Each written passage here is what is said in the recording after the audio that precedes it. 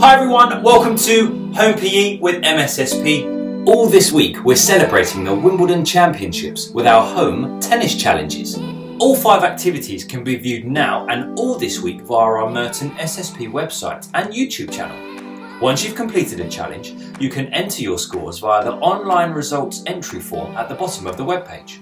Entry will be open until 5pm on Friday the 3rd of July 2020. For Target Tuesday, we're focusing on tennis challenge number 2, Target Time. This will test your accuracy and coordination. You'll need a tennis ball or sock ball and a racket or another flat surfaced object such as a hard book. You'll also need socks to create a target circle on the floor. Ask an adult to help you measure a 1 metre diameter for the circular target.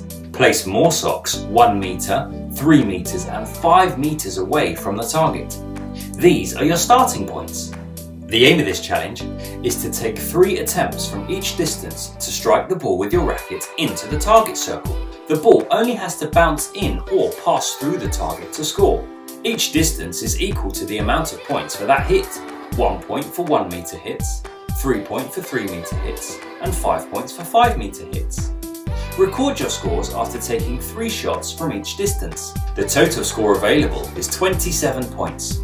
You can complete the 5 activities at any stage during the week and don't forget to submit your score through the mertonssp.org.uk website by 5pm on Friday. You can still upload your attempts to be nominated for our weekly Creativity and Determination Awards.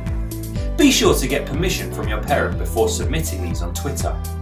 So good luck everybody, have fun and stay safe.